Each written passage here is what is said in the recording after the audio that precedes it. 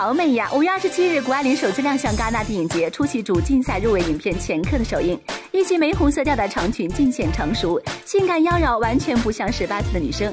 但美到了极点，她还开心地挥舞着裙摆转了好几圈，像个蝴蝶仙子，性感又不失少女的可爱，简直魅力十足，爱了爱了。话说，谷爱凌真的是从中国火到国外，冬奥夺冠后回到美国，各种大型活动都邀请她参加，人气杠杠的。